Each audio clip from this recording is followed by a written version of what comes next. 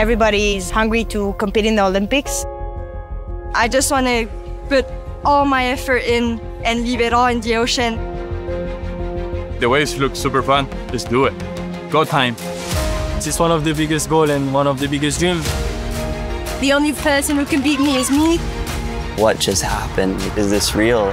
It's been like an emotional roller coaster. Anything's possible if you have the hard work and talent to do it. We're competitors. We're here to get a job done.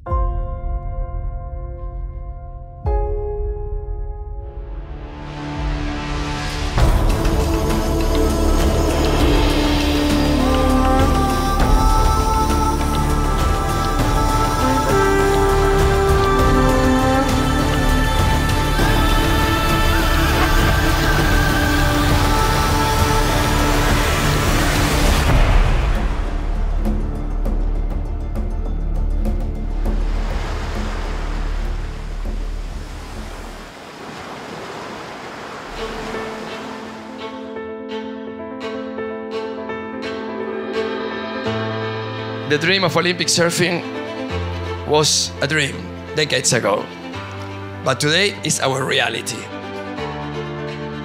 These magnificent waves, this wonderful climate, and of course the warm people of Salvador are a blessing. To be a surfer is not only to go surfing, it is also to take care of the oceans, to become ambassadors of the oceans and the beaches of the world, to be good people inside and outside of the water. The 2023 ISA World Surfing Games in El Salvador served as the second tier in the qualification process, awarding Olympic spots to four men and four women in specific continental regions. With gold medals on the line, the athletes prepared themselves both physically and mentally for the task ahead.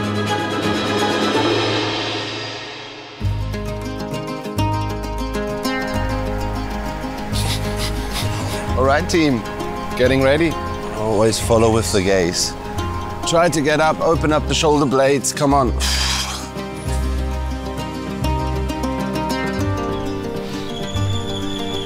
For me, it's like super important event. It's like Olympic qualification, so I, I need to do well. I am. i I've been training so much. I've been training a lot. I've been focused. I've been doing all my stuff every morning, every day. Uh, I've working so hard, and then uh, I'm ready. I'm ready to, to surf and enjoy this, this this event.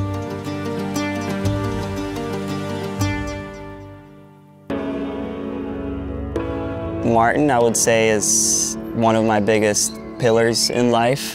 The amount of, of hard work and, and, and belief that we have, you know, it's, it's so impressive. Like, we really believe we can do it. For many athletes who are not able to qualify through the CT, this event is the first big opportunity to secure their ticket to Tahiti. My biggest dream is qualify for the second Olympics ever, and doing it here and qualifying for the European spot, it, it would be an amazing trip. Every year I look forward for this event and not only to compete and not only to qualify and there is something very special about it. Team France, on the other hand, has high hopes of qualifying Tahitian locals whose experience at the Olympic venue would give their team a competitive edge. I've never been an Olympian, so I don't know what is the feeling to reach that, but once I reach it, I know that it's because I put everything into it. That was incredible surfing from Kauli Vaast. One section projects right out of the lift into the flats. That kid is a superstar of the future. He has ridden some of the biggest waves at the Olympic venue. If he qualifies for the Olympics, he is a serious and solid gold medal chance for France.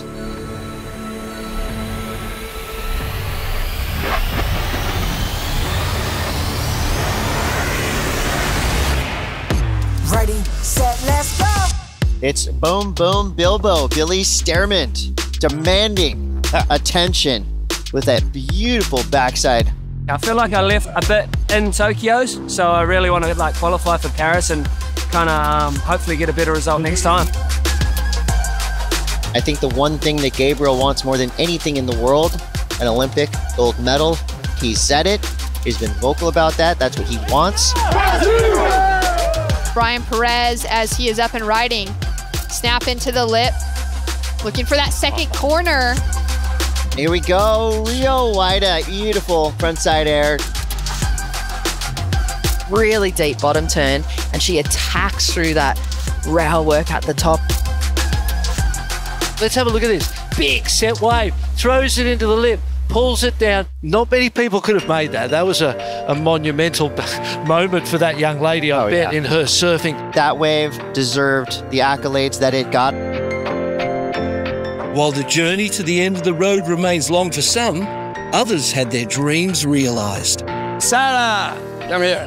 Jordy, come here. I'm gonna see you next next year in Tahiti.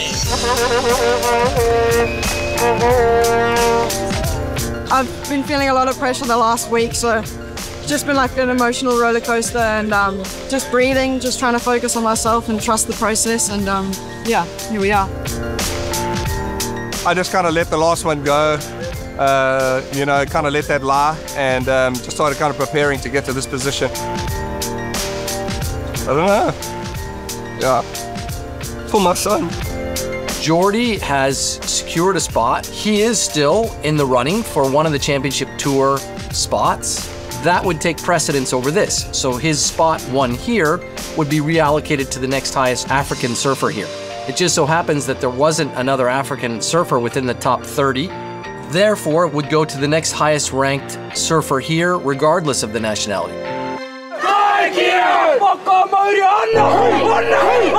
New Zealand's Billy Stairmand and Saffi Vette punched their tickets through the Oceania region. Excited but really terrified too. I've never been to Tahiti before.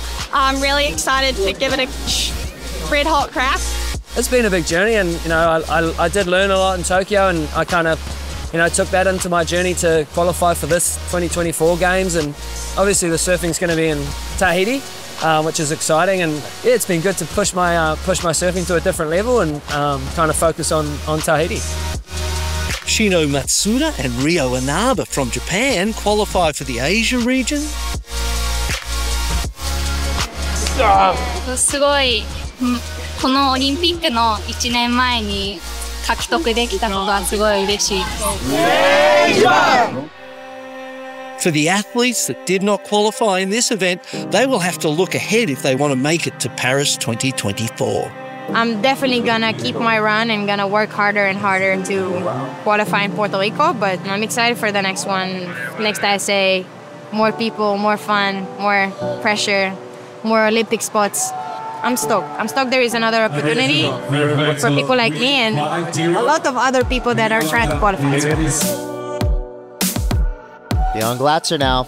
Look at this. The slow mo, the appreciation you get for that inverted, that front foot goes flat for a second and it gives him the chance to bring it all the way back around under. He's so close right there to coming way back over his board and, and centering his gravity. I had really, really high expectations, not even just to like qualify for the Olympics, but I, I really had, I set myself big expectations with winning the event. It was shocking for me, you know, like I, I remember right after I lost the heat, I, I asked myself like, what just happened? Like, what, what happened? Like, is this, is this real? Like, what, what's going on? And I, I couldn't even process the loss. Local Tahitian Vahine Fierro will represent France through the European region.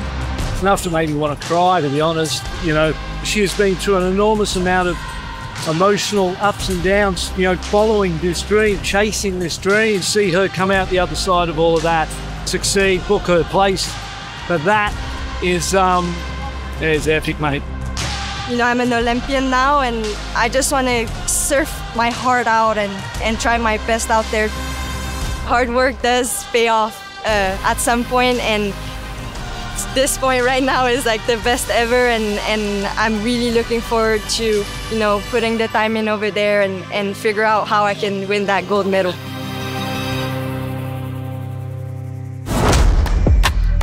Finals day, last day. Unfortunately, we had some electrical activity in the area, so we've had to call off and, and delay.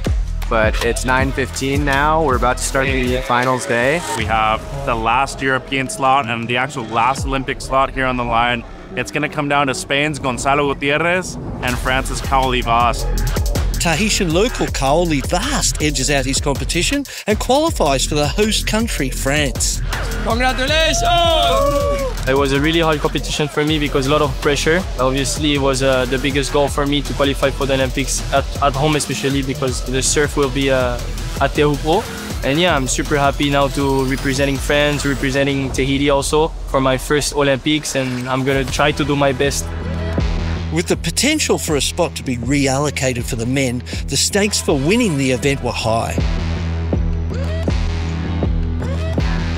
All right, here we go. Lapahina oh. looking for a 10. Oh! Surfing like that, definitely going to help him. Alan Cleland Jr. Quick setup turn there. This wave starting to grow down the line. Oh. Impactful second turn for Cleland. Another nicely placed turn throwing straight to the sky, building speed and momentum down the line. Oh. Blowing the tail. One more. Absolute control and commitment to every turn. Cleland again. Give this man a medal. What a performance from Al Cleland Jr. Vamos, Mexico. I got excited, they got excited, the world got excited. The highest single wave score of the day, just at the right time. Alan Cleland Jr. gets the highest score of the event in the grand final. winning that event and then having Fernando Aguerre come up to me and he's like, if Jordy double qualifies, you're in. Which that kind of like made me tear up for a second. You know, someone you looked up to your whole life, having him qualifying you into the Olympics 2024, it's uh, it's a pretty crazy feeling. It's uh, I'm just stoked for everything that's come after it and everything that's gonna happen in the future. With Tier 2 at the 2023 World Surfing Games concluded, eight more athletes can now set their eyes on Tahiti. I solemnly, respectfully declare the Surf City El Salvador ISA World Surfing Games 2023 finish. Close. We'll see you in Puerto Rico early 2024 for the last of the three ISA Olympic qualifiers. The journey is not over yet. Next up, we head to Chile for the 2023 Pan Am Games.